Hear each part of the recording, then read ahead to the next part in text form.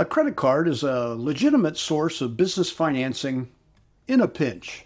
It can be a viable option if you have a high credit limit, a reasonable interest rate, and if the card offers you rewards when you use it. I've heard of more than one startup using credit cards to get their design businesses off the ground. But in architecture, there's more than one way to use a credit card. If you still have an old school credit card, it's embossed. And why are the letters and numbers raised? Before the turn of the century, about the time many of you were born, electronic banking wasn't a thing yet. Before that, merchants used a manual credit card imprinting device called a zip-zap. Some called it a knuckle buster. But here's the thing, when using a credit card as a straight edge, the embossing keeps it up off the paper so that the ink from the pen doesn't want to seep underneath. Yes, it's a small straight edge, but since scanning was invented, so are my sketches. The scans fill up the screen at the other end, no matter what scale it is, right? Thirdly, did you know that credit cards are a golden rectangle? Standard size credit cards are 54 millimeters by 86 millimeters, creating a ratio of 0.628, less than a millimeter from the perfect golden section of 0.618. Also known as phi, it's a ratio repeatedly found throughout art, architecture, and nature. If you ever need an easily accessible example of a golden rectangle, all you need to do is pull out a MasterCard.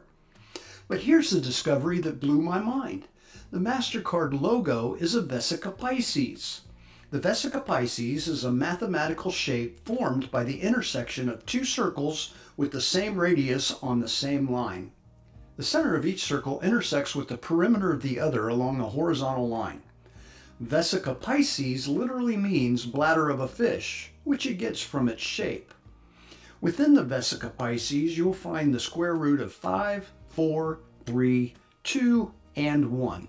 You'll also find two special right triangles, a 30, 60, 90, and a 45, 45, 90. But also you find phi. Quite a discovery, wouldn't you say? How does this information apply to architecture, there are three Gothic style arches created using the Vesica Pisces and several derivatives from those three. All of them are referred to as pointed arches. The most common is the equilateral arch, a pointed arch having two centers and a radii equal to the span.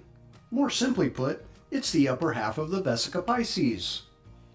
The Tudor arch is a four-centered arch with an inner pair of curves, each with a radius much greater than the outer pair.